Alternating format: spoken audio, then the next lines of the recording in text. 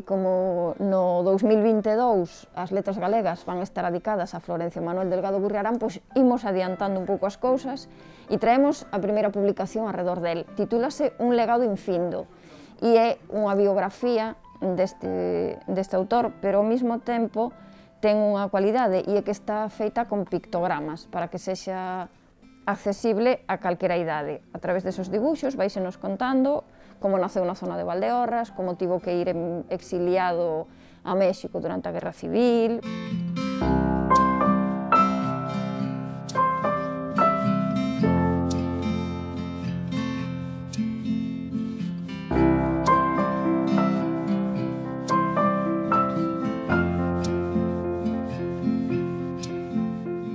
como ingresou no Partido Galeguista, e falásenos tamén das súas obras, un, unha pequena biografía para ir coñecendo pouco a pouco o vindeiro galardoado nas letras galegas, Florencio Manuel Delgado Burriarán.